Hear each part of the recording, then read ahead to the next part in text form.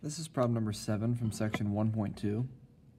In this problem, it says, this graph is the result of applying a sequence of transformations to the graph of one of the six basic functions. Identify the basic function and identify an equation for the given graph. So first of all, the basic function we can see is a, it's a quadratic or a, a, a parabola. We can say that that uh, function then, we're just gonna call this part one. The parent function of that would be f of x equals x squared, because we know it's a quadratic or parabola. It says, so that's the uh, identify the basic function part. Now it says write an equation for the given graph. So for part two, we need to identify what has happened in this problem.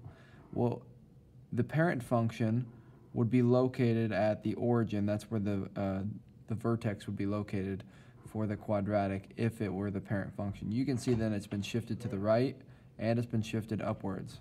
So because it's been shifted to the right and it's been shifted upwards, uh, we need to uh, take a look at our transformations, which you can see right here. And we need to look for what we need to do to shift this uh, parabola to the right. And you can see that it shifts b units right. To shift it b units right, it says that we need to uh, subtract from the x value.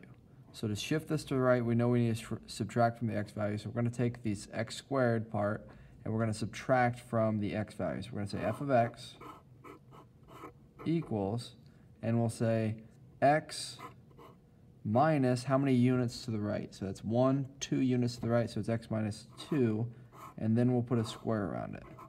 So this is the shift of it, uh, shift of this function 2 to the right.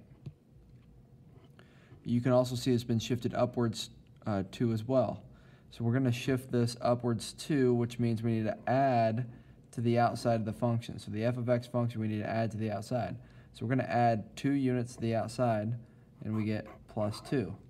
So our function that's a graph right here is the parent function x squared, but it's shifted to the right 2, and it's shifted upwards 2. And that's our solution for part 2.